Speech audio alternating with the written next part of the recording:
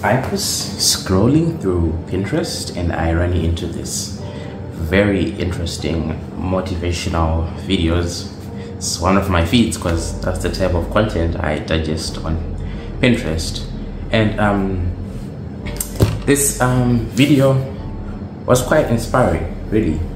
But there's one thing I noticed out of the four points that you're just about to see now. So you see that there is disappear, improve, return, shock everyone.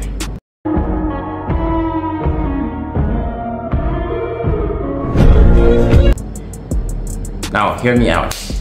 This video is very good, but there's just one point that I disagree with. Um, I don't necessarily disagree with, but I think if you actually want to improve, the fourth point, which is shock everyone, should not be part of your list. It should not be part of your goals. When you want to improve yourself, I do not think you need to focus on shocking other people. The only person you need to focus on shocking is yourself. Because let's be honest, I can go work out and um, come back looking like a Chad, and I only did this to uh, impress other people.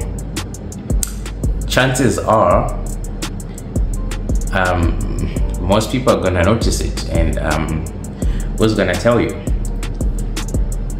Very few people right? And you're probably gonna get disappointed. You're gonna lose motivation to do um, all of this whatever you're doing. And you just don't have the motivation. Whereas by if i went and worked out and i came back looking like a child even if people noticed or they didn't notice it really doesn't matter. At the end of the day the person who's satisfied is me and i'm the person who stays motivated because of what i've done. Because i did this for myself. So which um i mean you can weigh the, pro the pros and cons of doing something for other people and doing it for yourself. You're more likely to stay motivated on your goal that you're doing for yourself than a goal you're doing to impress other people. Well, I guess you can sit down and think about that and digest. If you still wanna work to impress other people, so be it.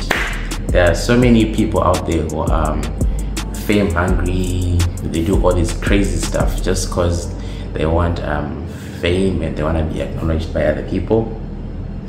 It works out for them I'm sure there's a bunch of people out there who do all this crazy stuff and they get lots of money, they become famous. They might even be enjoying their life, but I don't think that's the correct way to do stuff. Anyway, food for thought. You can disagree, you can agree. We're all human beings, so if um, we got a free will, we can do whatever we want. So, yeah, that's all I wanted to say.